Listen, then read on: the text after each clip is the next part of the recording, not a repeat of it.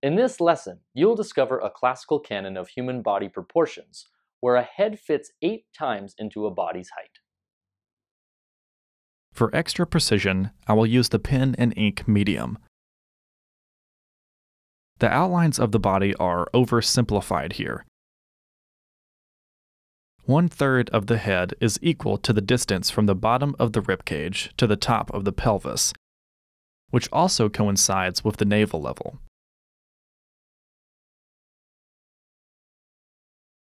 The same one third is the distance from the hip joints level to the anterior iliac spine at the pelvis.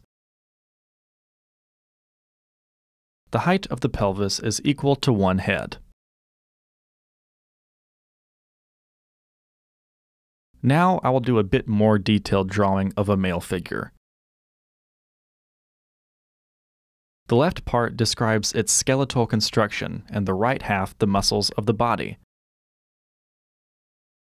I will draw in two different shapes of sepia ink to differentiate between bones and muscles. The same applies to the back view of the body.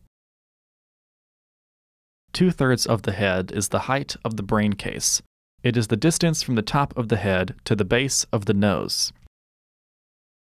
The height of the shoulder blade is the same as the height of the face.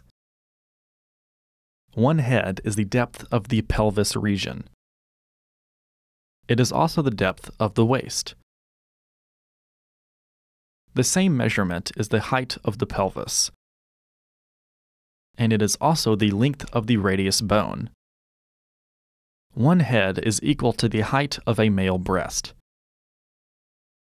Don't worry if you did not memorize all proportions mentioned here.